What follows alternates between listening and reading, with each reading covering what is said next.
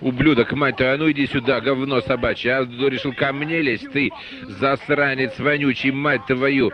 А, ну иди сюда, попробуй меня трахнуть. Я тебя сам трахну, ублюдок. Анонист чертов, будь ты проклят. Иди, идет. Трахать тебя, всю твою семью. Говно собачье, жлоб вонючий, дерьмо. Сука, падла. Иди сюда, мерзавец, негодяй, гад.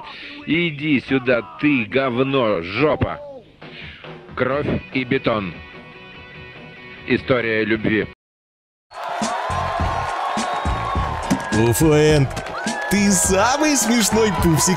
Только в рэпере не ударяйся. Нет ничего общего между переводчиком переговоров министра национальных дел и переводчиком Шекспира. Хотя и то, и другое это перевод. У каждого своя специфика. Здесь нужна реакция. Нужно, конечно, хорошее знание языка, с которого ты переводишь. Конечно, нужно очень хорошее, может быть, даже это в чем-то важнее, знание русского языка, чтобы твои переводы не были монотонными. Я считал и считаю, что по экспрессии русский мат значительно сильнее, чем английская ненормативная лексика. Тем более, что она у них не совсем ненормативная. Поэтому переводить так как э, учат словари матом, то есть слово в слово, мне представляется неправильным. Бывают редчайшие исключения. В фильме «Парни по боку» героиня, которая играет Вупи Голдберг, э, учит сексуальной раскрепощенности какую-то там девицу, э, и она спрашивает, ну как ты называешь вот то, что у тебя между ног? Говорит, ну там внизу. Говорит, что говорит, там внизу? Ты как будто про погреб говоришь. И она заставляет ее произнести матерное название. И вот здесь встать в позу целомудренной статуи и обзывать это медицинскими терминами нелепо. Слушай, давай сразу сейчас. Раз ты поняла, иди отсюда к этой матери. Хорошо? Мы-то чаще всего переводили сходу. И вот для этого нужна была реакция, ну, практически мгновенная. Ну и, конечно, наглость. Я бы так не смог. А ты бы смог? Как это у них получается? Кто они вообще такие?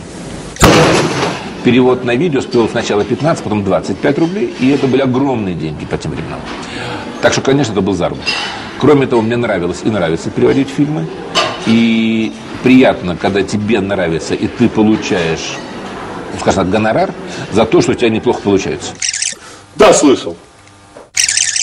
И один из э, вопросов, который мне задали в качестве беседы, а, был, как нам остановить видео. Мой ответ был, что это так же невозможно, как остановить аудио. Как можно остановить явление? Он сказал, ну что ж в таком случае вы считаете, что наша деятельность абсолютно бесполезна?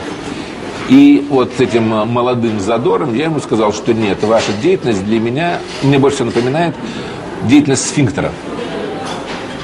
Наступила неловкая пауза. А, И я понял, что он не знает, что такое сфинктер. В конце он говорит, это что такое? О чем ты говоришь?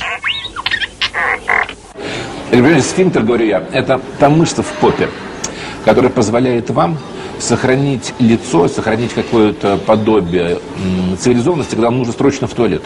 Она вам даст несколько минут, чтобы вы успели добежать до кабины. Тоже забавная история.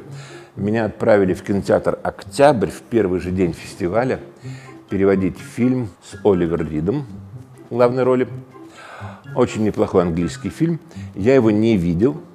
Мне сказали, без проблем, там очень хороший английский. И вот мой первый в жизни перевод на большой экран, на большой зал. И действительно английский, как в лингофонном кабинете. Все говорят четко и с паузами. Хороший английский язык. Проблем нет никаких. И вот в середине фильма, я уже расслабился, герой заходит в паб, проходит мимо столика, там сидят три человека. Эти три человека что-то друг другу говорят. Первая фраза, я понимаю, что я не понимаю ни слова, просто не понимаю. Вторая фраза, я не понимаю ни слова. Третья фраза, я не понимаю ни слова, но сквозь наушники я слышу смех в зале. И я понимаю, что смеются надо мной, что я облажался. И в эту секунду что-то щелкнуло в голове, и я понял все три фразы. Они говорили по-русски. Это были моряки. Причем один из них говорил матом. Почему в зале был радостный хохот? Потому что механики тоже к этому не были готовы и не притушили звук.